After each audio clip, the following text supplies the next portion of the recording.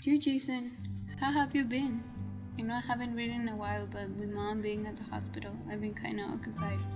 I know you're trying your hardest, but please don't worry about me and mother. Be the best you can be. College isn't gonna be easy, but I know you can do it. Me and mom will be waiting for you with all our love. Sister Lydia.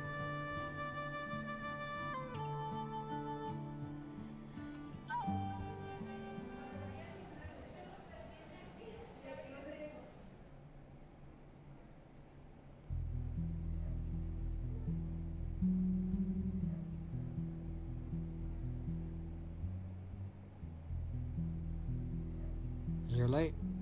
You didn't tell me where to go, Mr. Martin, call me Martin. Okay.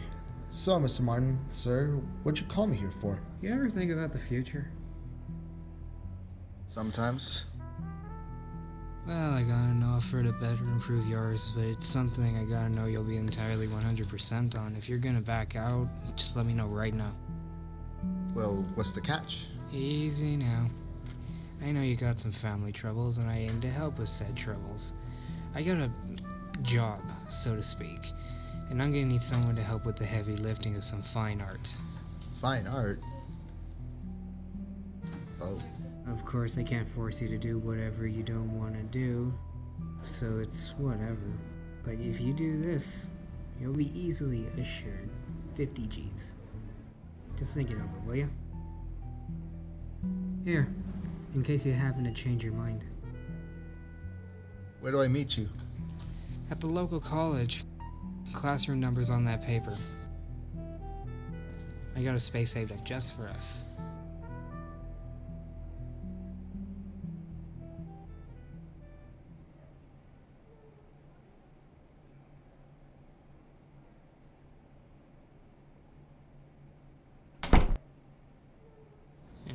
Was beginning to think you wouldn't show.